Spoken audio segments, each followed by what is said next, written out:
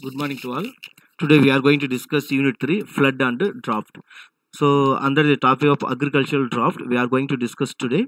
So, the on successful completion of the course, student will be able to assess the flood and draft risk in terms of hazards and vulnerability and analyze the measure for mitigating and managing such risk. That is analyze. So, through the agriculture draft, we are going to analyze in this topic. The course outcome of this topic correlated with the program outcome 2, 3, 6, 7 and the program specific outcome 1. The draft. Draft is defined as a period in which a region has a deficit in its water supply, whether surface or underground water. A draft can last for month or year or may be declared after as few as 15 days. Generally, this occurs when a region receives constantly below average precipitation. So see the right side of the diagram shown very clearly about the drafts in the agricultural field area. So a draft is an extended period of dry weather leading to extreme dryness. This result in a shortfall of water supply which has hydrological and agricultural impacts.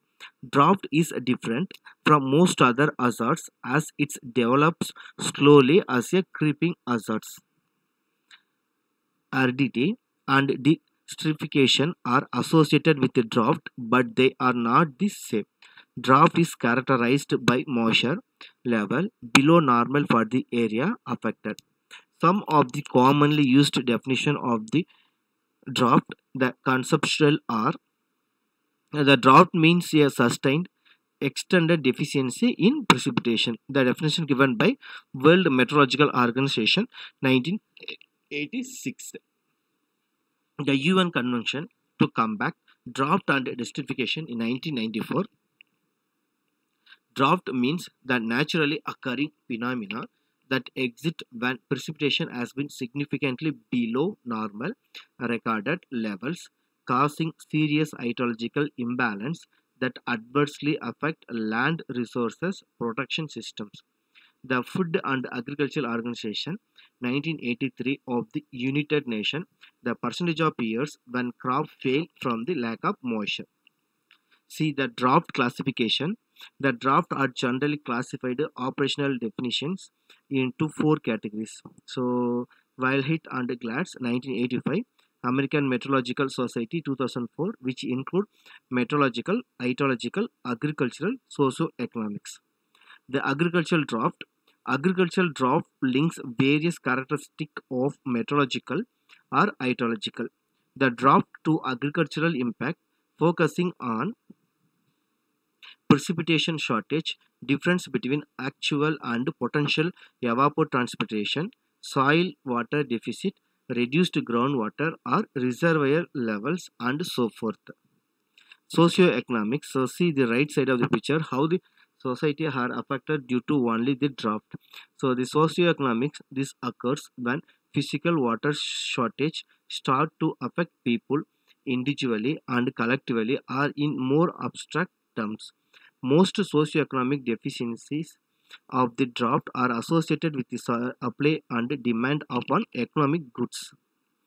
So, in natural climate variability, meteorological drought, agricultural drought, hydrological drought. In meteorological drought, the precipitation deficiencies amount, intensity, timing based, and reduced infiltration, runoff, deep percolation, and groundwater research. Meanwhile, the precipitation based high temperature, high wind, low relative humidity, greater sunshine, less cloud cover, it will be increase the increased evaporation and transpiration. It is under the control of meteorological drought. Once come to the agricultural land, the soil water deficiency, plant water stress, reduced biomass and yield. Whereas coming to the hydrological drought, reduced stream flow, inflow to reservoir, lakes and ponds, reduced wetland, wildlife habitat. So it's all together first affect to the environmental impact whereas is coming to the social impact automatically coming to the economic impact due to duration of the time period.